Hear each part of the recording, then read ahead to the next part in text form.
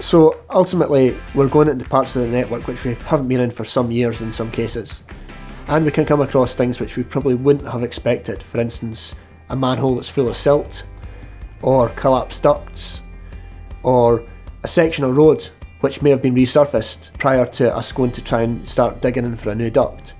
We may come across unrecorded land and have to post up what's called a notice of intent, and that runs for 28 days where we'll invite people to come forward and let us know if they own the land or if they have an interest in it. So we will sometimes run into difficulties when delivering this programme, and we will look for alternatives. However, there are times when we have to accept a delay and move the cabinet to the correct place within the programme in order to deliver it in the future. We really appreciate the patience that we're given in these challenging circumstances.